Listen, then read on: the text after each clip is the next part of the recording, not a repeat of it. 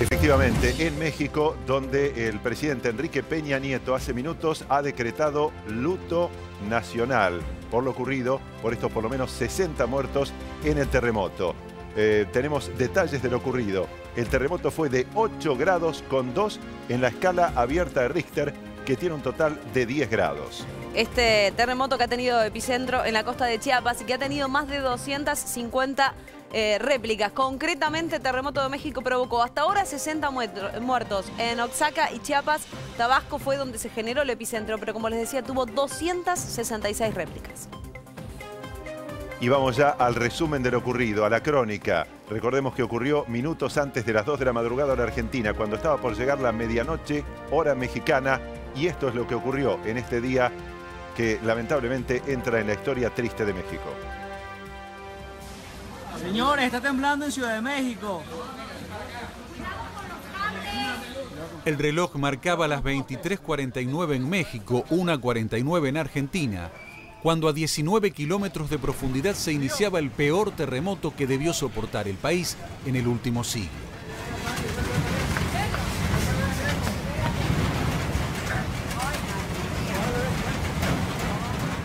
El epicentro se registró en el estado de Oaxaca, en el sur del país, con especial incidencia en las ciudades de Chiapas, donde se registró el mayor número de víctimas fatales, y en la localidad de Juchitán, al suroeste provincial.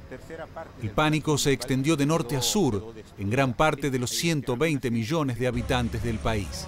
Miles salieron a las calles en pijamas, cargando a sus hijos o a sus mascotas, y llevando consigo las pertenencias que lograron rescatar en medio de la urgencia.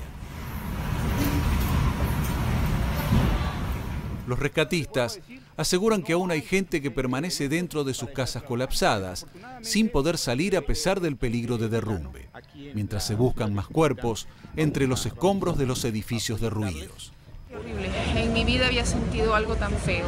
Eh, se sintió primero suave, ya después, ya acostada, tembló bastante y fue impresionante como empezamos a bajar por las escaleras y una vez bajando por las escaleras tembló más fuerte que sentía que nos batuqueábamos y eso, fue horrible. Por prevención, el gobierno anunció la suspensión de las clases en 11 de los 32 estados del país para evaluar daños en los edificios.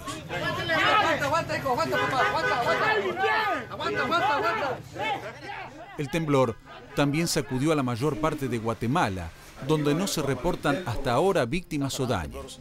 La prensa local informó de cortes de electricidad en algunos poblados del oeste, fronterizo con México. Esto es, parece que estuviéramos montados en un barco, parece que estuviéramos navegando en este momento. Para muchos, el temblor hizo revivir la pesadilla del 19 de septiembre de 1985, que devastó la ciudad y dejó 10.000 muertos. El propio presidente Peña Nieto fue quien confirmó la magnitud de este terremoto y también dijo que fue el peor de la historia en el país azteca. Vamos a compartir imágenes de cómo han quedado las zonas afectadas justamente por el terremoto.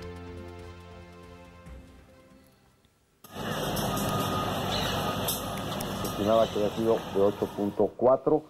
Eh, hay una actualización muy reciente sobre eh, la magnitud del sismo que es de 8.2 grados y esto lo convierte en el sismo de mayor magnitud que se haya registrado en nuestro país, al menos en los últimos 100 años. lamentablemente hemos tenido ya reporte de pérdida de vidas humanas y de varias afectaciones materiales que todavía no podemos cuantificar.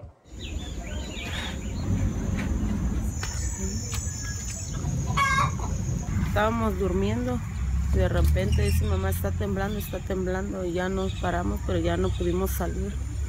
Este fue muy fuerte. Empezaron a gritar mis hijos y el pánico también. Cuando vimos ya logramos salir pero ya la casa se, se cayó toda.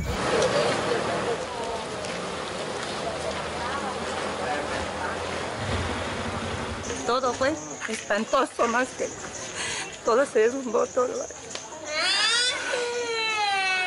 La mera verdad, no tengo, no tengo cómo explicarse. Que mire cómo quedó la casa, todo allá adentro, todo.